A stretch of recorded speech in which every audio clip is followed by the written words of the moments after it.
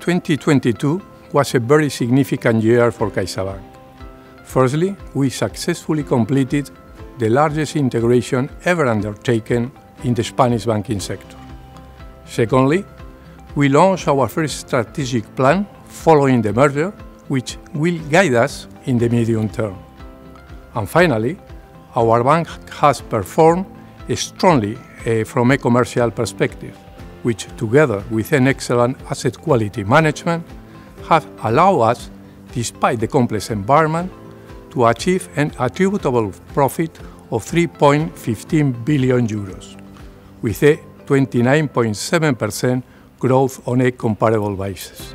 These results, as well as our solid capital position, have led the board of directors to propose this general shareholder meeting the approval for the distribution of a gross dividend per share of 0.23 euros, 58% more than in the previous year.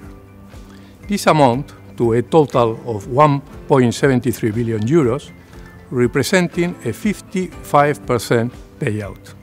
It is worth highlighting that 2022 has been a challenging year for the economy and the financial sector. Fortunately, the solvency of the sector, as well as the supervisory system and the capacity to act in the face of potential crisis, are much higher than those of a decade ago. Therefore, the level of resistance is very high.